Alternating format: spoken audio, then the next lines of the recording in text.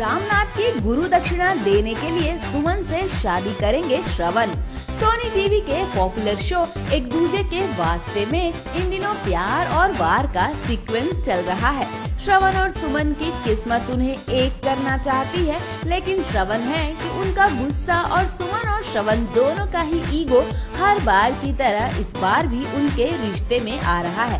रामनाथ ने तिवारी जी से अपनी गुरु दक्षिणा के रूप में ये वादा तो कर दिया है कि अगर श्रवण ने इस शादी के लिए हाँ कहा तो वो सुमन और श्रवण के बीच नहीं आएँगे।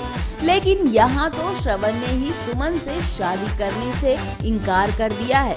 रामनाथ जब श्रवण को सुमन से ये कहते सुन लेते हैं वो नानू के सामने इस शादी से इनकार कर देंगे तो रामनाथ खुश हो जाते हैं। लेकिन कामिनी इतनी आसानी से कहाँ हार मानने वाली है? कामिनी श्रवण से ये कहती है कि तिवारी जी ने रामनाथ से सुमन और श्रवण की शादी गुरु दक्षिणा के रूप में मांगी है। अब होगा ये कि श्रवण इसे अपना फ़र्ज़ समझकर अपने पिता की तरफ़ से नानू को गुरु दक्षिणा देंगे और सुमन से शादी कर लेंगे। रामनाथ इस शादी को रोकने की कोशिश करते हैं या नहीं, ये सस्पेंस जल्दी ही पता चल जाएगा। इसी तरह की और भी खबरों और गॉसिप्स के लिए प्लीज़ सब्सक्राइब अस